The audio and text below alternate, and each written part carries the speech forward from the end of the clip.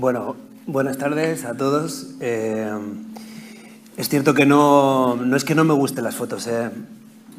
No, de alguna manera soy un tipo pudoroso y, siempre he tratado de evitar eh, fotos en el camerino o, o tener una cámara en momentos muy esenciales porque me da la sensación de que en un punto desnaturaliza las cosas, ¿no? Eh, ha ocurrido de manera natural, o sea, Wilma no, no entró en la gira para hacer un libro, Eh, pues entró ahí para hacer otro tipo de trabajo, hacer algunas fotografías y ayudarme con, con las redes sociales, que yo no, yo no tengo redes sociales en el teléfono, ni claves, ni, ni he tenido nunca, ni me manejo bien, por lo tanto necesitaba a alguien que, que lo hiciera y Wilma era muy buena haciéndolo.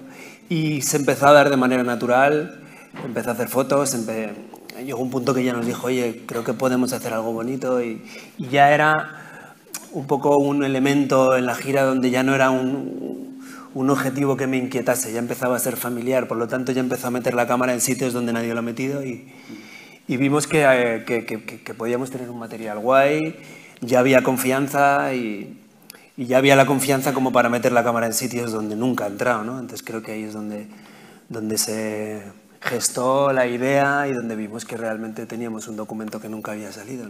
Y realmente lo bonito es que llegó un momento en el que creo que, que me convertí en, en invisible en el buen sentido de la palabra, porque, porque ellos podían estar, estar yo con la cámara y no sentirse intimidados. Y para mí es fundamental, si quieres plasmar la, la esencia de, de una gira, que la gente que forma parte de la gira no, no esté en tensión, ¿no? no esté pensando, me están haciendo una foto. Que hay un, un mo- un montón de fotografías viéndolo a posteriori, antes de editar el libro, que Will me mandó em, bueno, las fotos para, para hacer una selección y me encontré con que había muchísimos momentos que yo no, nunca supe que estaban retratados, ¿no? y momentos importantes.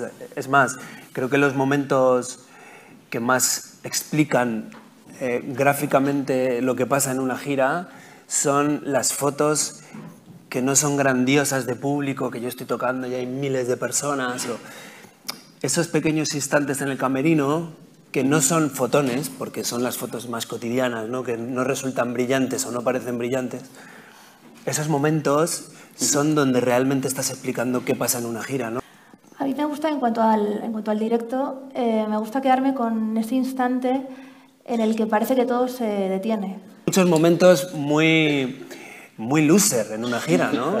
Y, y se ven también, ¿no? Que no es una gira como mirar qué, qué gira tan exitosa hemos hecho. No, no. O sea, hay momentos donde eres un perdedor en potencia.